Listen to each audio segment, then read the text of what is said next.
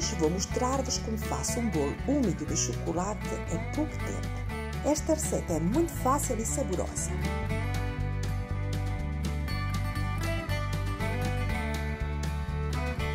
Começamos por derreter o chocolate em banho-maria junto com a manteiga.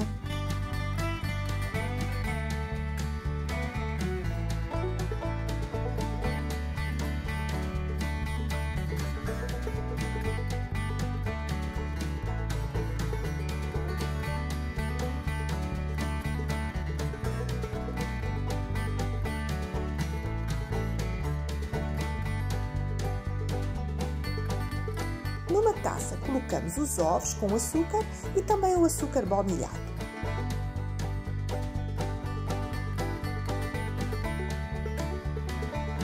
Misturamos e depois juntamos o chocolate já derretido com a manteiga.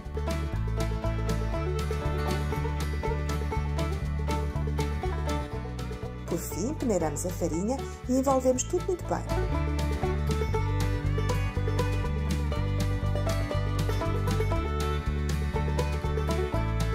Colocamos numa forma untada e polvilhada de farinha. A minha é quadrada e tem 21 cm de largura. Vai ao forno pré-aquecido a 200 graus durante apenas 15 minutos.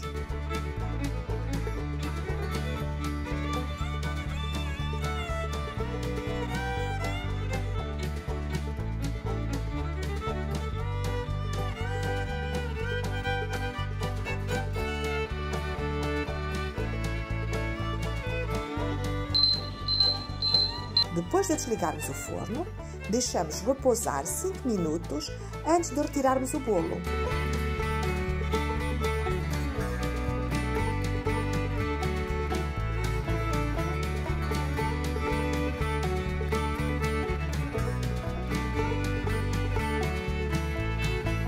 É consumido frio, podemos polvilhar com açúcar em pó.